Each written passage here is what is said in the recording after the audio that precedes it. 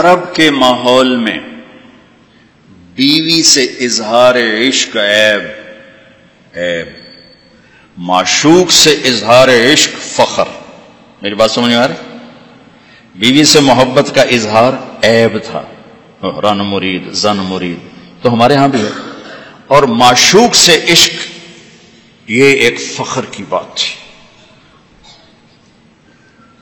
یہ چند شیر سناتا ہوں۔ حل تبکین لیلا اذا مت قبلها؟ وقام على قبر النساء النوائح. لیلا کے لیے اس کا مجنو ہم تو مجنو کہتے ہیں، اس کا نام تھا توبہ. توبہ ابن السم الخفاجی، عراقی، عراق کا قبیلہ خفاج مکے میں آباد ہے اب بھی نام آیا نا لیلا کا؟ کما لو اصاب الموت لیلا بکیتها وجاد لها دمع من العین صافح.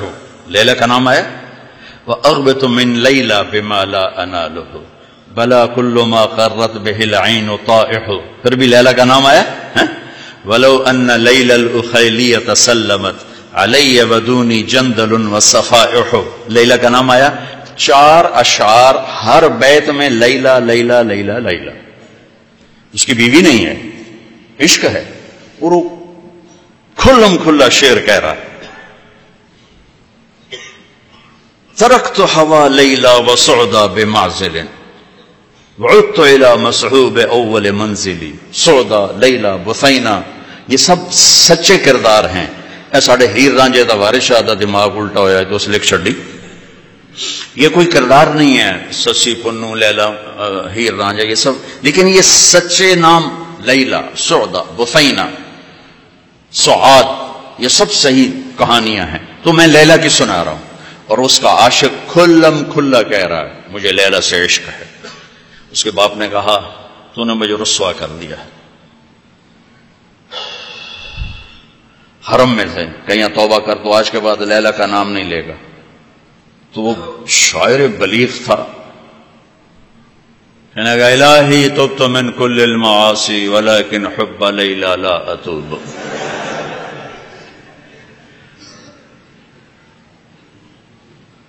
اللهم لا تسلبني حبها ابدا ويرحم الله عبدا، قال امين یہ دو شعر پڑھ کے ابے کو سنا دیا کہ یا اللہ، ہر گناہ سے توبہ لیلا کی محبت سے نہیں۔ جو میری دعا پہ آمین کہے، اس کا بھی بھلا کر دے۔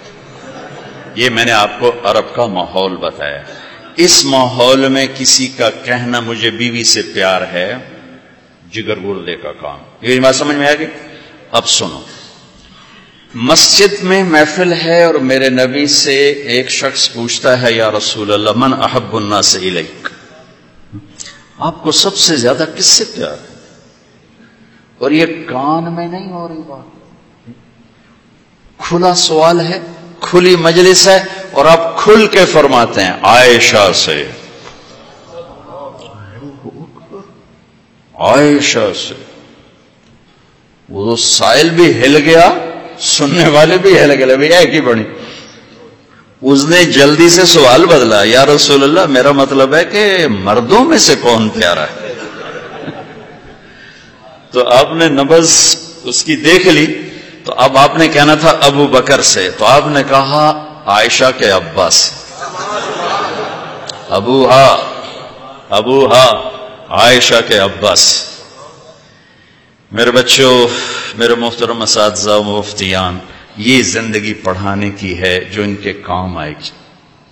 انشاءاللہ رفع دین کرنے والی بھی جنت میں جائیں گے، نہ کرنے والی بھی جائیں گے۔ اگر قبائر سے اجتناب ہے، محرمات سے اجتناب ہے۔ تو اونچی امین کہنے والی بھی جائیں گے پس امین کہنے والی بھی جائیں گے۔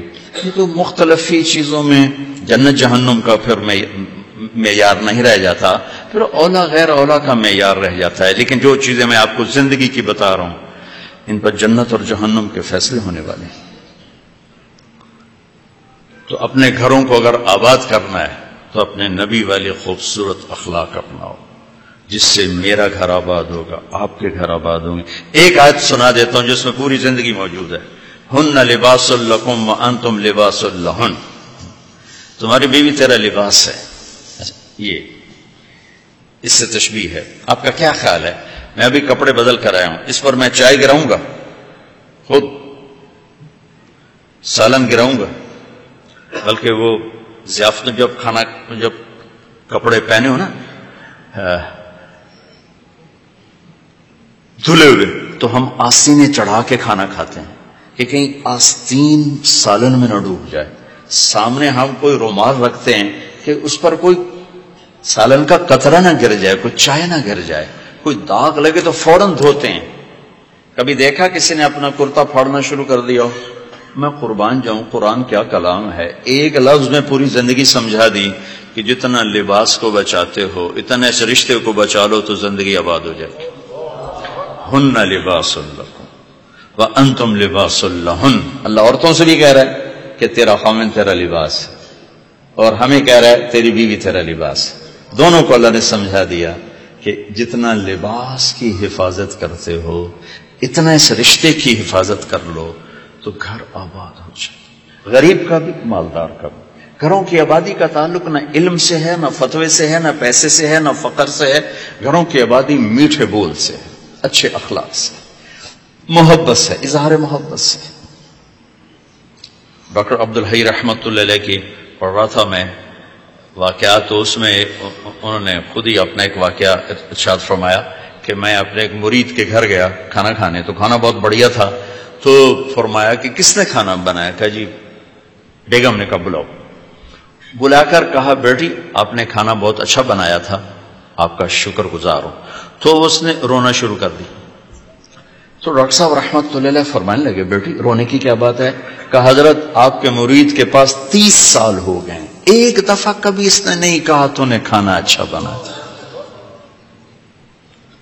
بھائی حوصلہ افزائی کرو، تعریف کرو۔ دیکھو خوشامد حرام ہے۔ تعریف تو حق ہے۔ وہ جو آتا نا، اس کے منہ میں مٹی ڈالو۔ اس سے مراد تعریف نہیں خوشامد اس میں بڑے اشکال میں رہتا تھا کہ حوصلہ افزائی تو حق اور یہ آ رہا ہے کہ جو تعریف کرو اس کو منہ میں مٹی ڈالو۔ تعریف تو حوصلہ افزائی ہوتی ہے۔ پھر ابن و ماجہ پڑھاتے ہوئے میرے سارے سوال حل ہو گئے۔ یا معاذ ایا کا وتمادع فانه الذبح۔ معاذ خوشامد سے بچنا، یہ ذبح کر دینا ہے۔ یہ جہاں جہاں یہ لفظ آتا ہے، تعریف کرے، منہ میں مٹ ڈالو، خوشامد خوشامد خوشامد۔ تعریف، میرے نبی تعریف کر۔ رہے اپنے صحابہ کی کتنی تعریف فرما رہے موقع موقع پر ان کی تعریف فرما رہے ہیں۔ تو اپنے رشتوں میں، اپنے رشتوں کو پانی لگاؤ، میٹھے بول کے ساتھ تعریف کرو۔ کھانا بنا دو کیا اچھا بنایا لباس پہنا، کیا خوبصورت لگ رہا ہے۔ ماں کی تعریف کرو، باپ کی تعریف کرو، استاد کی کرو، استاد شاگردگی کرے۔ اس سے حوصلہ بڑھتا ہے۔ خوشامد آرام ہے۔ تعریف میرا حق ہے۔ آپ کا حق ہے۔ میں آپ کی کوئی تحریر دیکھوں، آپ کا کوئی تقریر دیکھوں، آپ کی کوئی چیز دیکھوں، تو میرے ذمے ہے کہ میں آپ کی حوصلہ افزائی کروں۔ تو رشتوں کو پانی پلانے کے لیے حوصلہ افزائی، تعریف کمیوں سے درگزر، اس سے میرے میرے عزیز و گھر آباد ہوتے ہیں۔ وہ عالم کا گھر ہو، مفتی کا گھر ہو یا کسی ان پڑھ کا گھر ہو۔ گھروں کی یہ شکل و صورت چار دن کا کھیل ہوتا ہے، کشش ختم ہو جاتی ہے۔ لیکن حسن سلوک، حسن اخلاق ایسا حسن ہے جو ہمیشہ چڑھتے سورج کی طرح چڑھتا ہے، کبھی ڈھلتا نہیں۔ سورج تو نصف نہار پہ آ کر ڈھل جاتا ہے، اخلاق کا سورج موسم نہیں ڈھلتا ہے، یہ چڑھتا جاتا ہے، چڑھتا جاتا ہے۔ تو اپنے گھروں کو آباد کریں۔ حسن سلوک کے ساتھ، حسن اخلاق کے ساتھ۔ میرے نبی حضرت میمونہ کے گھر میں تھے۔ اب رات کو پیشاب آیا باہر نکلے، پیچھے آنکھ کھل گئی۔ اما جان کی۔ دیکھا بسر خالی۔ چکر دے دیا ان کو۔ سوکن پنے نے۔ کہنے لگی اچھا میری باری میں مجھے چھوڑ کر دوسری بیوی کے پاس چلے گئے۔ وہ سوکن پن۔ کنڈی لگا دی۔ اللہ کے نبی آئے، دروازہ بند۔ آپ نے دستک دی۔ میمونہ، دروازہ کھولو۔ کہا، میں تو نہیں کھولتی۔ آپ نے کہا، کیوں؟ کہا، مجھے چھوڑ کے دوسری بیوی کے پاس چلے گئے۔ کہ اللہ کی بندی، انی حاقن۔ حاقن کہتے ہیں، زور سے پیشاب آیا۔ کہ مجھے پیشاب آیا تھا بڑے زور کا۔ کہ کوئی پیشاب نہیں، مجھے پتا ہے آپ کہاں گئے ہیں۔ وہ حضرت عائشہ پیشاب ہو رہا تھا۔ تو آپ نے کہا، اب میں مونا انا رسول اللہ۔ میں اللہ کا رسول ہوں، صرف تیرا خاوند نہیں ہوں۔ میں کیسے خیانت کر سکتا ہوں؟ پھر ان کو کرنٹ لگو ہوئی پہلے وہ سوکن پن آئے گا تھا۔ سو کن کن کیسے کہتے ہیں؟ لوہے کو تیز کرتے ہوئے، دھار بناتے ہوئے جو چھوٹے چھوٹے ذرات اڑتے ہیں، ذرات، اس کو کن کہتے ہیں۔ آنکھ میں پڑ جائے نا، تو آنکھ، آدمی تڑپ جاتا ہے۔ تو جس کی آنکھ میں سو ذرے پڑ جائیں، اس کا کیا حال ہوگا؟ یہ ہے سو کن سو کن اس سے ہے۔ کہ آنکھوں میں سو ذرے پڑ گئے۔ بشر ہے تو انہوں نے کہا آپ نے کہا میں اللہ کا رسول ہوں میں خیانت کر سکتا ہوں پھر تو جا کے نا دروازہ کھولا۔ ڈرتے ڈرتے تو اللہ کے نبی مسکراتے ہوئے آئے اور آ کر اپنے چار پائی پھر بیٹھ ایک لفظ ایک لفظ۔ میرا میرا عزیزو یہ میرے نبی کی خوبصورت زندگی ہے جس میں یہ سارے دروس موجود ہیں۔ زندگی کو حسین بنانے کے لیے پیسہ نہیں چاہیے، اخلاق چاہیے۔ شکل صورت بھی نہیں چاہیے، اخلاق چاہیے۔ اچھے اخلاق، میٹھا بول۔